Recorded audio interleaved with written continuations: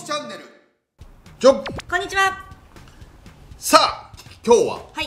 ね今年の収穫と来年への課題ということで、阪神タイガースです。はい、はい、まあ阪神はね、まあ、今年3位ということでね借金3はい。いや優勝してもおかしくなかったけどね、そうですね。やっぱ前半のね、うん。あの9連敗が非常に痛かったなっていうところはあるけどもね、まあ、その中でピッチャー陣も若手もね、西純也とか、はい。佐伯、あと浜地湯浅の若手のピッチャーも出てきたしね、で打線でもねあのまあ佐藤輝が、まあ、2年目ね、もうしっかりまあ大きくね数字を落とさず、まあ、外国人がねはい。ちょっと微妙なんだけどね。そうですね。でもあの開幕の時あんだけ連敗したじゃないですか。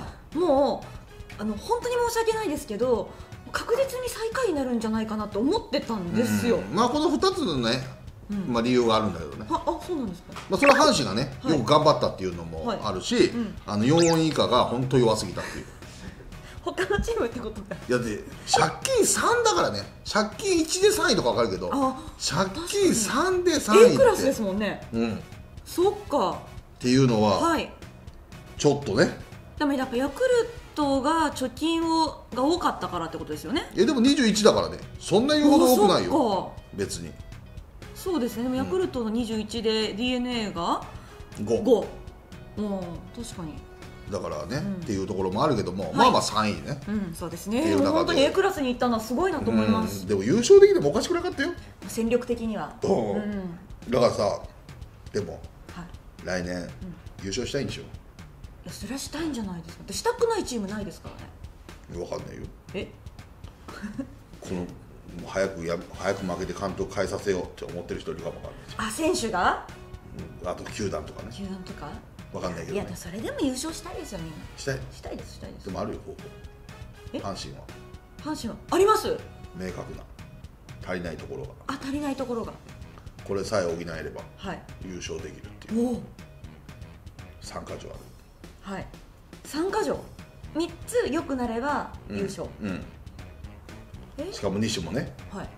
しっかり残留したしね。うん、そうですね。大きいね。はい。分かった三つ。3つ分かった三つ三つは分かんないな。いやじゃあ何一つ？だって防御率すごい。一つはあちょっと言いかけた。外国人の補強。正解。イエーイ、まあこれはやっぱりねはい。補強しないと、まあ多分ケリアは全然ですけども打線はね、はい。まあ、ロハスと、あのーマルテう多分もう交代なんだよね、ん、はいだからここでどの外国人選手をね、取ってきてその選手が機能するかどうかで、ん。まあ、大きく変わるから。これはまあ外国人これはもうねはい。助っ人としても大事なことですよね、はい。はい、え二つ目？えーっと分かった。なんですか？ホームラン数の強化。うん。でもそんなすぐ打てないじゃん、そうですね。うん、強化って言ってもホームランは。しかもはい。外国人が来て打てればね、うん。まあ多少補えるからね。増えますよね、えーでも防御率も良かったはず。チーム防御率も2.67ってめちゃくちゃいいわけですよ。まあ、唯一の2点台だからね、はい。セ・リーグ。ってことはやっぱり打率？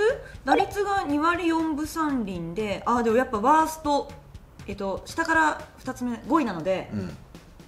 打線の強化、でもチーム打率が低いから？うん、チーム打率が2割4分3厘っていう、一番最下位が巨人の2割4分2厘、うん。でそのやっぱ次なんでうん。やっぱこれはこう打線をうん。こうつなげていくこと、うん。なんの？からの？からの？はい。からの？ちょっと待って言いますあの見てるんで。えっと勝負強さ？からの、からの？いやだからだ打線っていうとこ合ってるんだろうな。うん、からの？からの？からの？皆さんわかります？えわかんないです。何ですか？やっぱりね、まあ、ホームランはそれは増やしたいね。できることなら、でもだからって言ってそんな急激に球場でも狭くしない限り、なかなか増えないっていうところと、まあ、この数でももし外国人が来て30本打てれば、ここからね一気に100本以上にはい。到達するから、まあ、そこは外国人試合で改善できるかなっていうところはね、はい。ハマればね、あるかなっていうところはあるけども、もうね、このね阪神のねはい。究極のはい。弱点、うん。これはね長打率。へえ3割3分7厘、えーセ・リーグワースト1位でございます。あそうなんだ。はい、だから要はまあホームランも少ないんだけども二塁打もセ・リーグで、まあ、巨人が199なんだけど、はい。唯一の152、ツーベース。あとのヤクルト d n a 広島中日っていうのは200本以上打ってるの。うんそんな違うんだ。でまあ巨人も199だから、まあ、2はい。本みたいな感じしたら、今度もう50本はい。二塁打が少ないのよ。はい。でじゃあね巨人みたいにいやツーベース少ないの。ホームラン打ってるからツーベースがもう入っちゃうからね、うん。だったらまだ納得できるよねでもホームランも84本でえ5位。はい。長打も少なホームランも少なければツーベースも少ない。あで三塁打が、えー21と4位、うん。だからそんな言うほど甲子園広いのにもかかわらず三塁打が特別セ・リーグの中で多いわけでもない。あはい。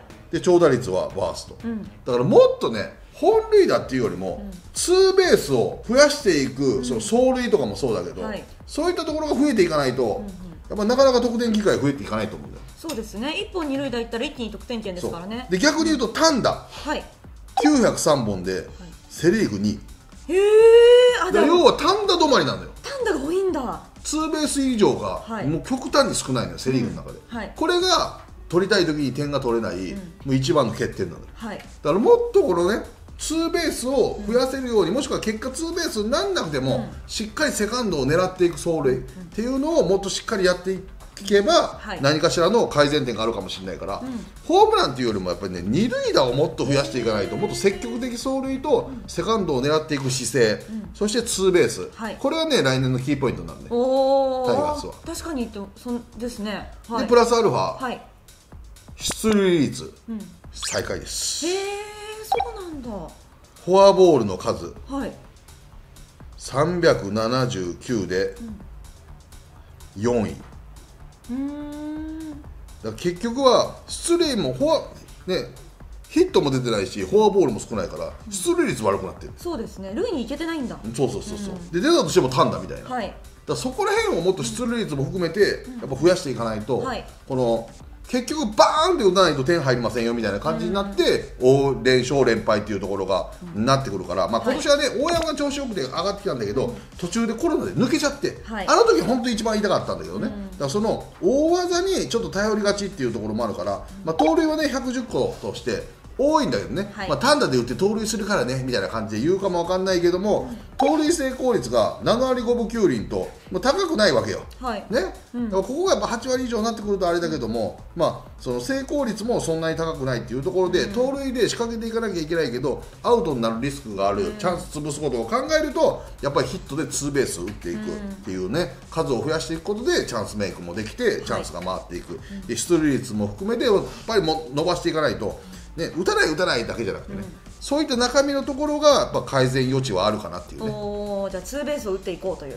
そうだね、はい。であとはなんて言ってもやっぱエラーの数が86と、えーセ・リーグワーストっていうところでね、はい。ピッチャーの防御率はね確かにいいのよ、はい。ねあのー、2.67と、でもこれエラーしたら失点しても出塁率に組み込まれていかないから,、はい。だからそこら辺の見えない失点があるよね、うん。えエラーって何位なんですか？エラー1位。エラー一番多いですか？そうそうそうえそうなんだ。なんか去年すごいエラー多かった気がして今年は阪神あれエラー少ないなとかなんかちょっと思ってた気がしたけどやっぱエラー1位86で1位です。あそうなんだ。2位が82個の巨人なんで。逆に巨人が多かったねエラー。うん。そうなんだ。はい。えじゃあエラーが3つ目ですか？す3つの。出塁率と長打率。長打率。これ2個。2個。だからそこの打線改善すれば、まあ、なんとかピッチャーはいいからね、うんうん。まあ、そのプラスアルファとしてエラー少なくしたいなっていうね。はい。だからあの自責点はね380個で少ないんだけど失点は400超えてるから、まあ、それでも少ないんだけどね、はい。もっと少なくできるからね、ん。エラー少なくできればね、はい。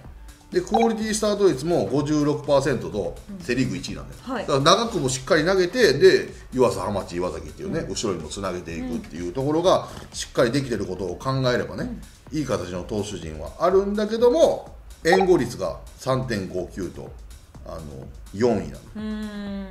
で5位 d n a と0.01差だからね、はい。ほぼほぼ変わらないっていうことを考えればやっぱり援護しきれてないからね、うんそうですね。援じゃあどうすればいいんだっつってやっぱりツーベースとかフォアボールを増やしていって出塁するっていうことが大事になってくるかな、はい。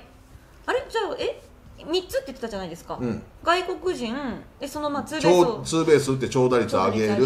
でフォアボール取って出塁率上げる、で出塁率上げる、ねこれで完璧よ。はい。あなるほど。もうピッチャーいいから。でも監督変わってなんかまたチーム変わるかもしれないですよ。まあでも出る人変わんないからね。そんな言うほどね。あーそっか。